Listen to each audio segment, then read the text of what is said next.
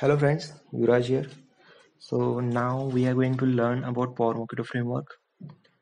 Okay, uh, so which is basically used to test Java code only. So in the last video tutorial, uh, which is uh, for that, actually I have shared link here also. So in that video tutorial, we have seen that how to test our code with JUnit and with the help of Mockito framework but now uh, suppose we, uh, we need to test some static classes static methods or private methods constructors. In that case it is not possible to do the test test for that using Mockito framework. So instead of that we have to use Power Mockito here.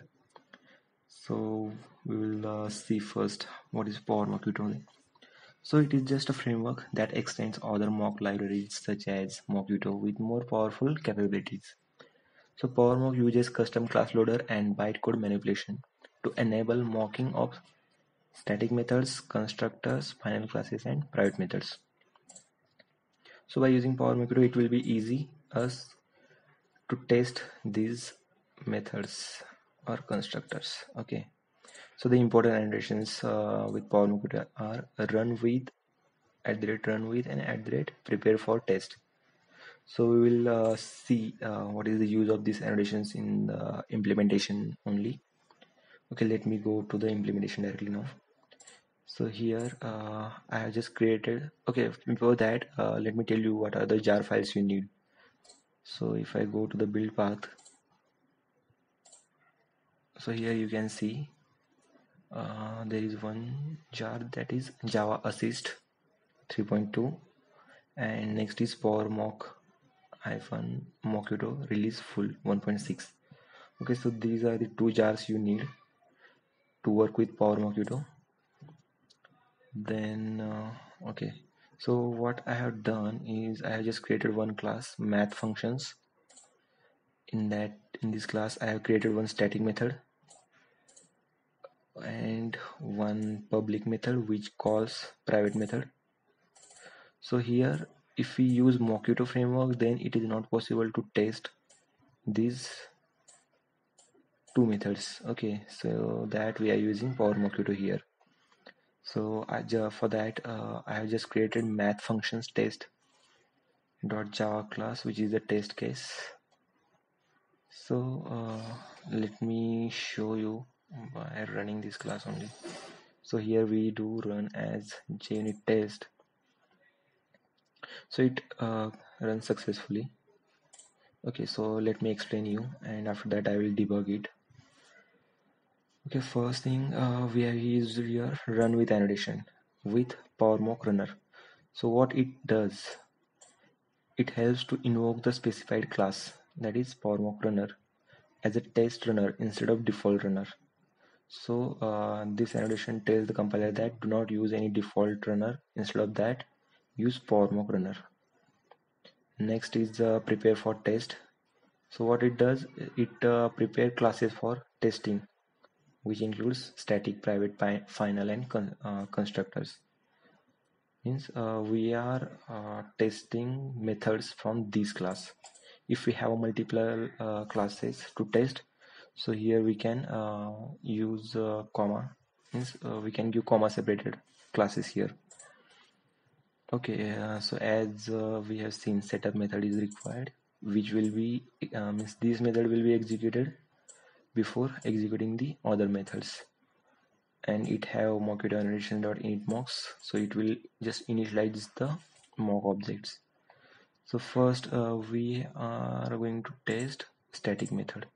So what it does it is just a square method uh, which returns the square of a variable so for that suppose I have one expected variable or expected value which is 25 so there are some steps or some syntax to work with these static methods.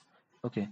So uh, let me okay first thing for mock dot mockito dot mock static. And here uh, I have to uh, mention the name of that class in which uh, we have a static method. And next is uh, here we are just uh, giving the input and expecting some value. So I'm calling square method here with some dummy input and it should return me the expected value. Okay then we will compare here. We will directly call the uh, square method from math function class. And here we will just compare whether it uh, returns the expected value or not.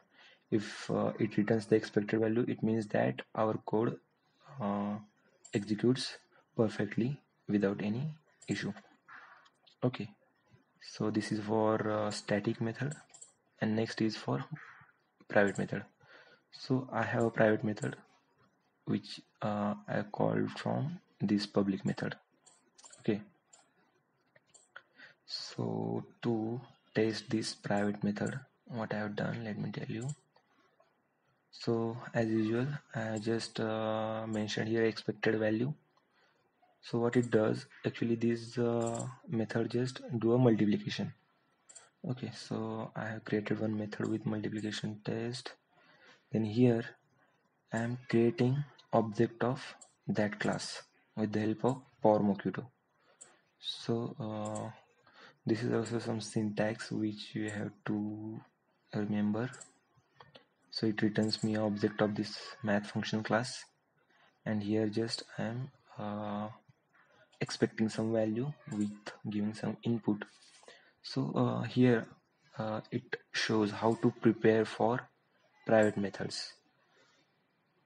Okay. So what happens? I have just created object of math function class into that multiplication is the name of my private method so my method is multiplication. Its name is multiplication. So I have to copy as it is here into double quote double quote and the parameters. So for my method I have two parameters. That is int a int b. Both are integers. So here I have to mention some parameter here both. And what it returns the expected value. Okay so next is I'm calling actual method. That is my public method operations. This method. Okay. So into that I'm just passing some variables some values and it should return me its result of operations. Means it should return me its multiplication. And finally I will compare here. Okay. So let me debug debug as Test.